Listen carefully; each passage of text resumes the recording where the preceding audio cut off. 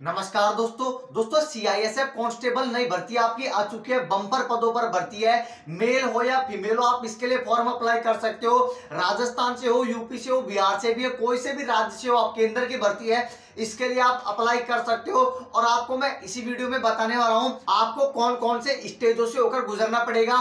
पहले आपका पेपर होगा या फ़िज़िकल होगा या मेडिकल होगा, क्या होगा कैसे आपको करना है? पेपर आपका कैसे आने वाला है? पेपर में नेगेटिव मार्किंग रहेगी या नहीं रहेगी? पेपर का लेवल क्या रहने वाला है? फॉर्म कब से स्टार्ट होने जा रहे हैं? कितने पदों पर ये भर्ती है? आयु सीमा इसमें क्या रखी गई है? सैलरी कितनी मिलने वाली है? सब कुछ मैं आपको इस वीडियो में बताने वाला हूँ तो आप ये फॉर्म ज़रूर अप्लाई करना। चैनल पे पहली बार हो तो सब्सक्राइब करके वीडियो को लाइक ज़रूर कर देना। पहले दोस्तों मैं आपको बता दूँ, भर्ती जो निकल के आई है, वो है सीआईएसएफ कांस्टेबल ट्रेडमैन की भर्ती है दोस्तों ये।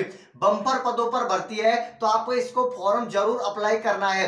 अब मैं थोड़ी सी बात कर लेता हूँ, कितने पदों पर भर्ती आई है कौन कौन से पद है मेल के कितने पद है और फीमेल के कितने पद है? तो पदों की बात कर लू टोटल मिलाकर 710 पदों पर ये भर्ती निकल के आई है। मेल की बात करूँ, मेल के कितने पद है? मेल के जो पद है दोस्तों 633 तो मेल के पद है और फीमेल के पद है 69 यानी गुणहत्तर कितने पद है? गुणहत्तर कौन कौन से पद है दोस्तों? यहाँ पर आपके जो पद नज़र आ रहे हैं, वो है दोस्तों, कुक के हैं, नाई के हैं सफ़ाई कर्मी के हैं, धोबी के हैं, पेंटर के हैं मालिक हैं, टेलर के हैं। तो इनमें आप फॉर्म अप्लाई कर सकते हो। योग्यता की बात करूँ दोस्तों सिर्फ़ और सिर्फ़ दसवीं पास। यदि आप दसवीं पास हो तो ये फॉर्म आप अप्लाई कर सकते हो और यहाँ पर आराम से है वो नौकरी ले सकते हो। सैलरी भी बहुत अच्छी मिलने वाली है, वो भी मैं आपको बताने वाला हूँ। आगे बता, दोस्तों, आयु सीमा क्या रखी गई है? आयु सीमा रखी गई है 18 से 23 साल जनरल कैटेगरी मेल की बता रहा हूँ। आयु की जो गिनती की जाएगी, वो एक आठ दो हज़ार बाईस से की जाएगी। इसके अलावा, दोस्तों ओबीसी हो गया एस सी हो गया फीमेल हो गई। इनको यहाँ पर एज के अंदर छूट भी मिलने वाली है। जो भी आपको छूट मिलती है, वो यहाँ पर भी मिलने वाली है। तो फॉर्म ज़रूर अप्लाई करना। आगे बता दू फॉर्म डेट फॉर्म कब से स्टार्ट होने जा रहे हैं? फॉरम स्टार्ट होने जा रहे हैं 21 नवंबर 2022 से, जो 21 तारीख ये आ रही है। इससे इसके फॉर्म स्टार्ट होने जा रहे हैं। लास्ट डेट रहने वाली है, वो 20 दिसंबर 2022 रहने वाली है। तो 20 दिसंबर से पहले पहले फॉर्म अप्लाई कर देना। आगे बता दू, फॉर्म फ़ीस कितनी रहने वाली है? जनरल और ओबीसी मेल की जो फॉरम फ़ीस रहेगी, वो सिर्फ़ और सिर्फ़ सौ रुपए रहेगी। एस सी के ज़ीरो रुपए रहेंगे। तो फॉरम फ़ीस भी यहाँ पर बहुत कम है।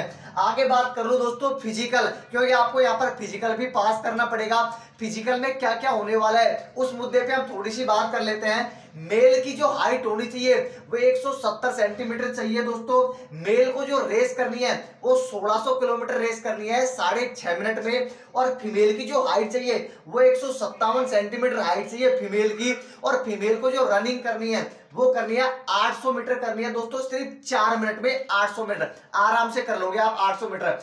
आगे बताओ दोस्तों पेपर कैसे लगने वाला है? क्या नेगेटिव मार्किंग रहेगी? कौन कौन से स्टेजों से आपको गुजरना है? तो पहले दोस्तों, यहाँ पर जो आपका होगा, वो होगा फ़िज़िकल ध्यान से सुन लेना। यहाँ पर जो पहले आपका जो होगा, वो होगा फ़िज़िकल होगा।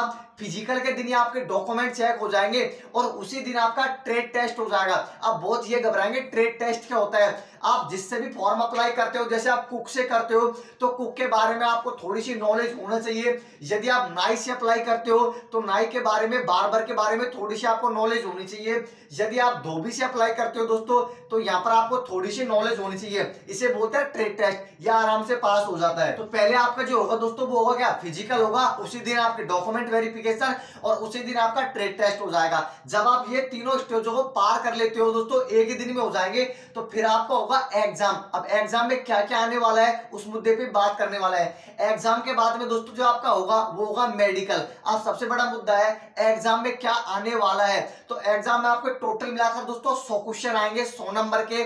नेगेटिव मार्किंग इसमें नहीं रहती। सबसे बड़ा दोस्तों जो आपके लिए लाभ है, वो लाभ यह है कि इसके अंदर नेगेटिव मार्किंग नहीं रहती है। दो घंटे का आपको समय मिलेगा और सौ क्वेश्चन आने वाले हैं। नेगेटिव मार्किंग नहीं रहती है। अब क्वेश्चन किस प्रकार के आएँगे दोस्तों? इसमें जीके जीएस आएगी मैथ आएगी रीजनिंग आएगी और इंग्लिश और हिंदी आने वाली है। मतलब कि पेपर आपका नॉर्मल आने वाला है और नेगेटिव मार्किंग है नहीं तो सौ में से सौ क्वेश्चन आपको टोटल करके आने हैं। तो आप देख सकते दोस्तों, पहले आपका क्या होने वाला है? Physical document verification trade test एक ही दिन में हो जाएगा। उसके बाद में आपका एग्ज़ाम होगा। एग्ज़ाम जब आप पास कर लेते हो, उसके बाद में मेडिकल होने वाला है। तो आपको इसका फॉर्म ज़रूर अप्लाई करना है। फॉर्म जो स्टार्ट होने जा रहे हैं वापस बता देता हूँ।